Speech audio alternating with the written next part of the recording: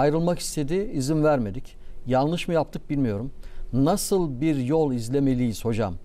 Konu ne aldatma ne hırsızlık. Örneğin suyu taşırdın, yemeği tuzsuz yaptın gibi sebeplerden. Vah vah. Hocam bize ve anne babamıza neler tavsiye edersiniz? Vah vah vah ya. Dünya niza değer mi ya? Bakın basit sebeplerden dolayı basit se- halbuki yani dünya müminlerin e, aile yuvası cenneti olacak ya. Aile yuvamız cennet olacakken cehenneme çeviriyoruz ya. Dört yıldır konuşmuyor.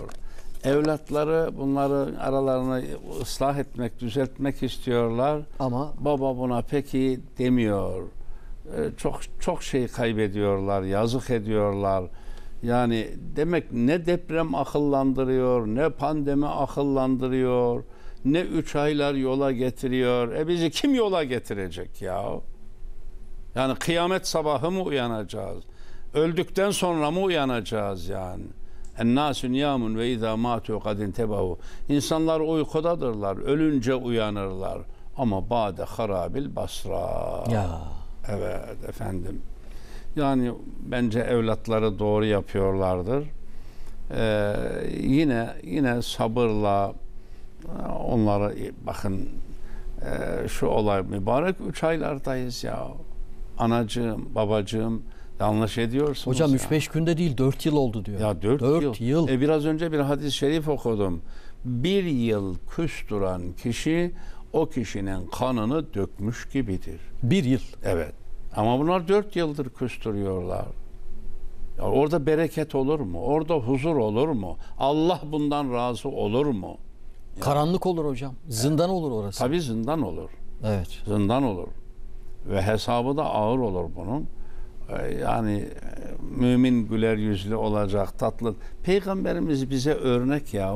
Peygamberimiz hiç annemize karşı kaba böyle sert sözü var mı? Ee, Sabahleyin geliyor Peygamberimiz Mescid-i Nebevi'den. Kahvaltı var mı? Yok. Ö- ö- Öyleyse bugün oruca niyetleneyim. Allah Allah. Nasıl yok? Demiyor yani. Nasıl böyle öfke yok, şiddet yok, celadet yok. Yani Son derece hoş. Her şeyi güler yüzlü karşılıyor. Güler yüz, tatlı söz Müslümana yakışan budur. Yoksa ev cehennem hayatı yaşanıyor. Şuna bak. Dört yıldır küs. İnsaf edin Allah'tan korkun yahu. Peki.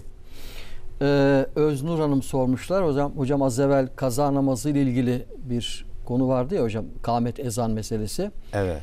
Ee, Muhsin Bey hocamıza selamlar.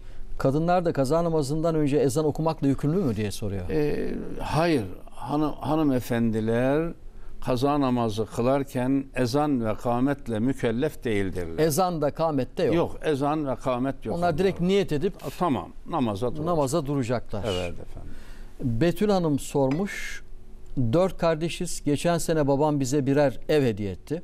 Evlerin üzerinden bir sene geçti. Biz babamla beraber yaşadığımız için evler boş duruyor. Bir evde de kiracı oturuyor. Diğer eve de depremzede bir aile için eşya döşeyip bir depremzede aile yerleştirdik. Bu evler için zekat vermemiz gerekir mi? Bu evler için zekat vermek gerekmez. Kirada olan ev için Eğer kir- kira geliri e, nisabı geçiyorsa e, o zaman zekat düşünülür. Yoksa şimdi bu vaziyette bu evler için e, zekat söz konusu değil. evet.